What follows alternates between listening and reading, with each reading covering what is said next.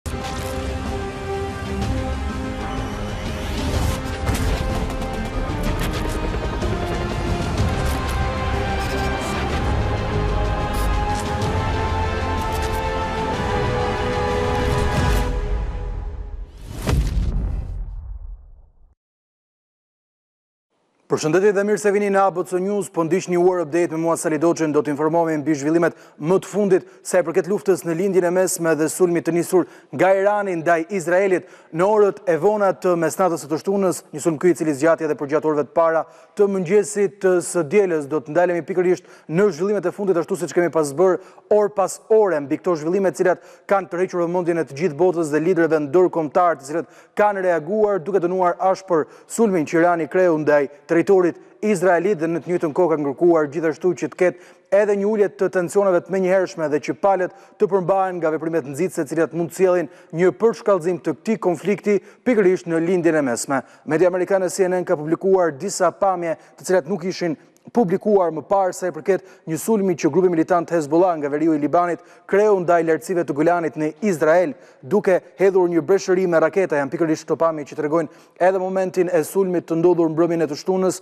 ku këto raketa të gjitha të hedhura nga militantët e Hezbollah, një ndër grupet militante më të rëndësishme që është i lidhur pikërisht me Iranin dhe i financuar nga Teherani ka kryer këtë sulm, sipas pamjeve që shihen nga ajo çfarë ka publikuar edhe media amerikane CNN, tregohet pikërisht pra edhe momenti i lëshimit të breshërisë së këtyre raketave. Do të zhvendosemi në tjera informacione për të parë tani më atë se çfarë pritej të ndodhte. Ishte një takim i G shtatës i cili ishte një takim urgjent i planifikuar dhe i thirrur nga presidenti amerikan Joe Biden ne deklaratën E përbashkët shtatë vendet më të fuqishme të botës kanë deklaruar se kërkojnë që palët të përmbahen nga veprimet e tyre përshkallëzuese, ndërsa kanë bërë thirrje gjithashtu edhe për ulje të tensioneve në Lindjen e Mesme dhe mbylljen e këtij konflikti. Charles Michel, presidenti i Këshillit Europian, ka shkruar, Me liderët e G shtatë ne dënuam njëzëri sulmin e paprecedent të Iranit kundër Izraelit. Të gjitha palët duhet të ushtrojnë përmbajtje. Ne do të vazhdojmë të gjitha përpjekjet tona për të punuar drejt uljes së tensioneve. Përfundimi i krizës në Gaza sa më shpejt të jetë e mundur, veçanërisht përmes një armëpushimi të menjëhershëm, do të bëjë ndryshimin. Situata në Lindjen e Mesme, duke përfshirë Libanin, do të diskutohet në Këshillin Europian javës së ardhshme, ka shkruar Michel në statusin e tij në rrjetin social X, ndërsa përgjatë këtyre minutave po zhvillohet në Izrael edhe mbledhja e kabinetit të luftës për të pasur një përgjigje zyrtare nga Tel Avivi sa i përket reagimit që ata do të kenë mbi sulmin që Irani kreu mbi Izraelin, pra kush do të jetë përgjigjja që do të japë Tel Avivi. Më herët ministri i kabinetit të luftës në Izrael deklaroi se Tel Avivi do të marrë kohën e tij dhe do të ia përgjigjet pra këtij sulmi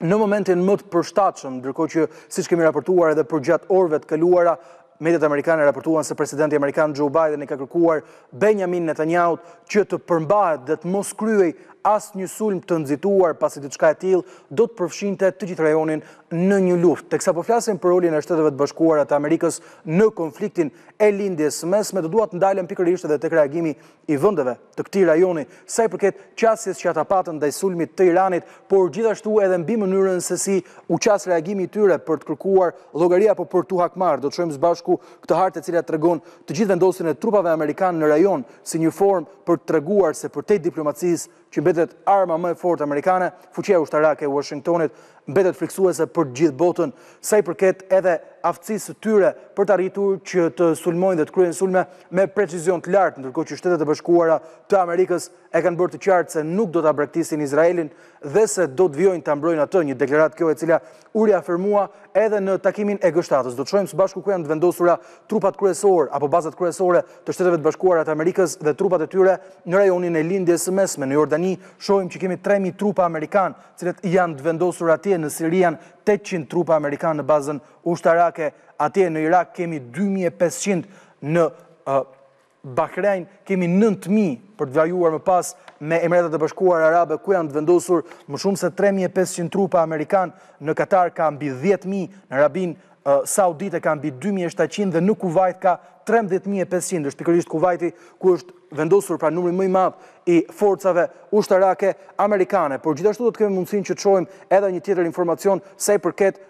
kësaj harte dhe asaj se çfarë ka ndodhur në gjashtë muaj luftime, shohim luftanijet amerikane të vendosura pranë Libanit dhe Izraelit, luftanije amerikane ka pasur edhe në Detin e Kuq për të shmangur sulmet që po kryenin rebelët Houthi ndaj anijeve tregtare duke kërcënuar kështu tregtinë globale. Gjithashtu luftanije amerikane ka pasur edhe në pranë Emirateve të Bashkuara Arabe në mënyrë që të mund të sigurojë që rajoni i Lindjes së Mesme të mos kishte një përshkallëzim të krizës dhe tensioneve që mund të sillnin më pas edhe një zgjerim të luftës mes Izraelit dhe grupit militant palestinez Hamas nga Rripi i Gazës. Ishte kjo gjithçka e përgatitur për këtë hapësirë të War Update. Unë ju falenderoj për vëmendjen tuaj, së bashku do të shihemi sërish nesër për më të rejat e fundit nga konfliktet më të nxehta globale.